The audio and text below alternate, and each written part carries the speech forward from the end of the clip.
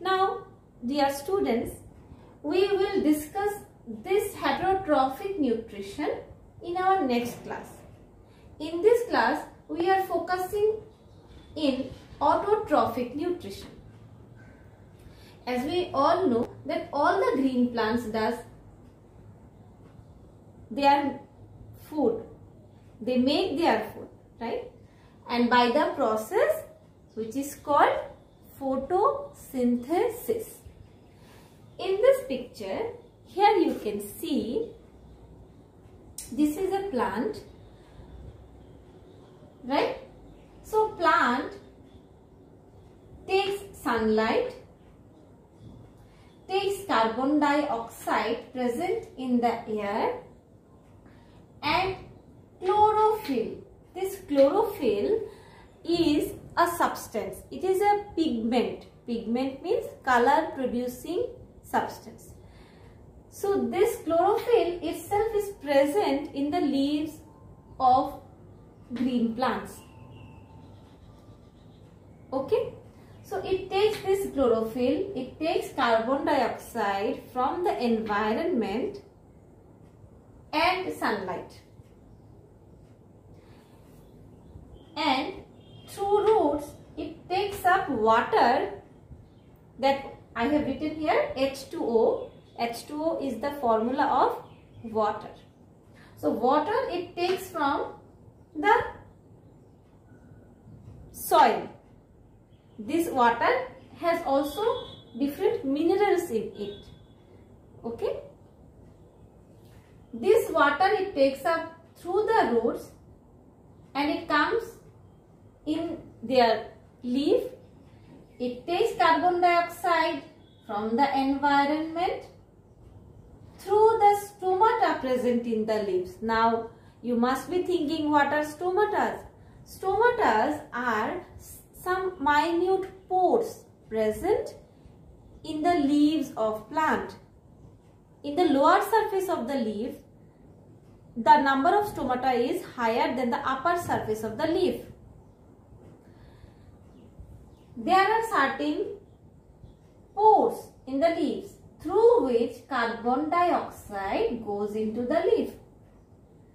It takes the sunlight and chlorophyll already is there in the leaves. Water it takes up from the soil through the roots and it makes its food. This food is glucose. This food is glucose.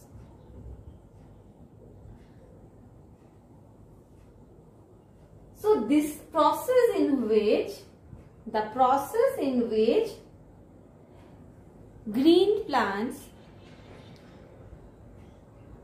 make their own food in the leaves with the help of sunlight, carbon dioxide and water. This process is called photosynthesis. Photo means light. Synthesis make, means to make. That's why the name is photosynthesis. They make their food with the help of sunlight.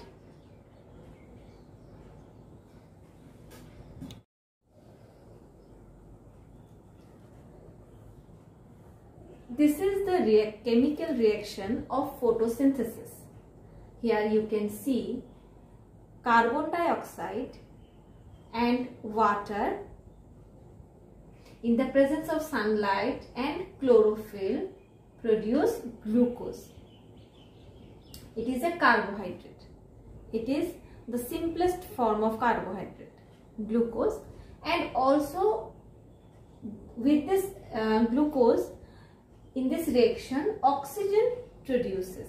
This oxygen it uh, some of it is taken up by the plant itself to do respiration, the breakdown of food.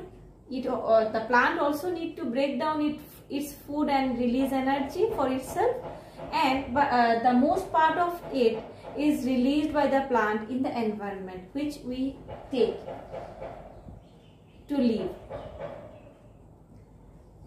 I uh, quickly uh, repeating this reaction.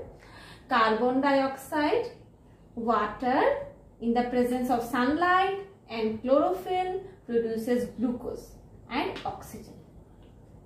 Carbon dioxide formula is CO2 and water formula is H2O, right? Glucose, the formula of glucose we write C6H12 and O6. In the glucose there are 6 carbon, okay, carbon atoms are there and hydrogen 12 hydrogen atoms and 6 oxygen atoms is there in the glucose. Now, as I have said, this whole photosynthesis process, it occurs in the leaves.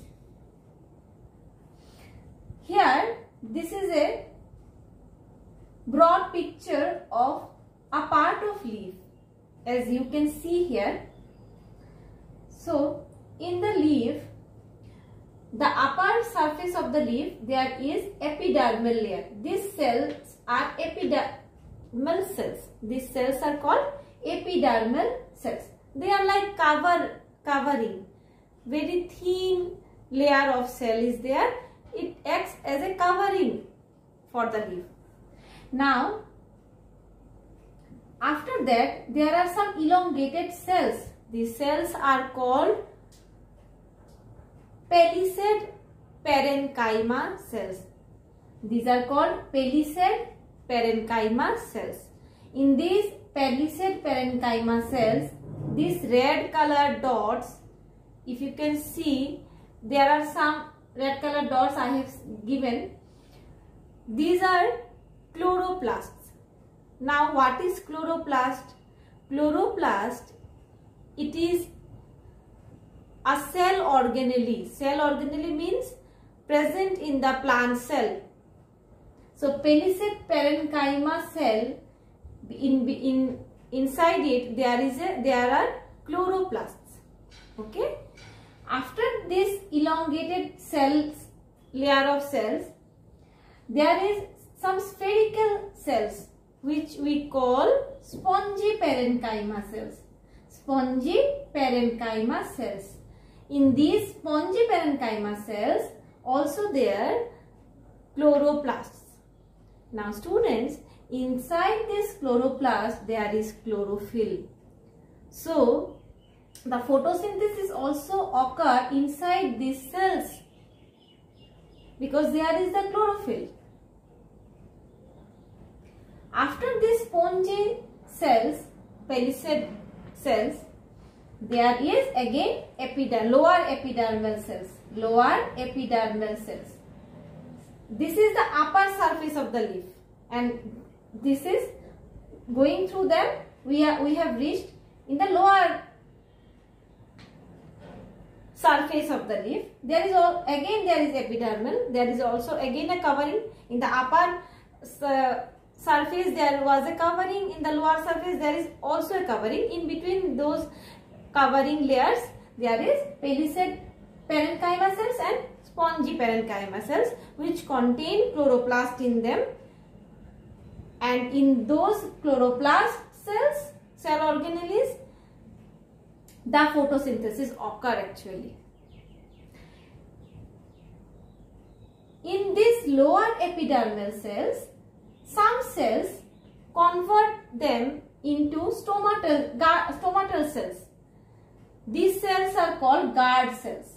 They somehow they change their shape and they act as guard cells. They, they, those cells are called guard cells which make stomata. Okay. In between the guard cells there is a pore that is called stomata. So guard cells make stomata. This is the diagram of stomata. This pore is called stomata or stoma you can say. And these two bean shaped or kidney shaped cells are called guard cells. So guard cells make stomata. and these cells as you can see here are adjacent cells of these guard cells. When water with minerals come inside these guard cells, these guard cells become turgid, they swell up and they form this stomata. They take this shape and form this stomata. When the water goes again in into these adjacent cells from the guard cells, the guard cell become flaccid. Become they become flaccid. They become like this and closes them. When water with mineral goes into the adjacent cells from the guard cells, these guard cells close themselves. Stomata become closed. No carbon dioxide can go outside from inside or from eh, to inside from outside there is no not only carbon dioxide no other gas can enter and exit. Okay? So this is the flaccid condition of guard cells. And when they the water in, gets into these guard cells they swell up and take a shape of this. And then and then the stomata again open. So this is the whole process of photosynthesis that we have discussed in the class. Now let's have a quick look. So in today's class what we have learned?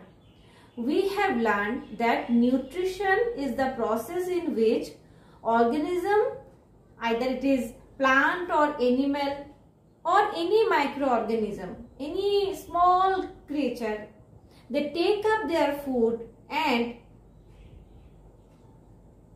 utilize this food to get energy is called nutrition. Nutrition is of two types, autotrophic and heterotrophic. Autotrophic means make their own food.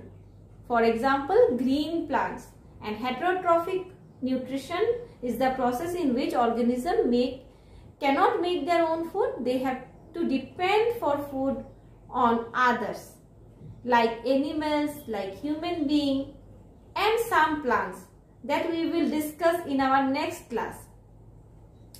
Then we have also understand that what is photosynthesis is. In the photosynthesis the green plants takes up with the help of carbon dioxide and water and sunlight in the presence of chlorophyll make their own food called glucose and also release oxygen in the environment. This is photosynthesis. This carbon dioxide they take up through the stomata in their leaves and chlorophyll is present in the mesophyll cells. These palisade parenchyma and spongy parenchyma, both of them are called mesophyll cells. So the chlorophylls are present in the chloroplast which is present in the mesophyll cells. So students, if this uh, this discussion become useful for you then comment in the comment box. And from today onward I will be asking you a question on the topic that has been discussed in the class and you will give me the reply in the comment box. Okay? So today's question, listen it very carefully. What is that green pigment present in the leaves that help in photosynthesis? you all will give me reply in the comment box. I will be waiting for your reply. So, for today, I am bidding you bye. So, see you in my next class. Thank you.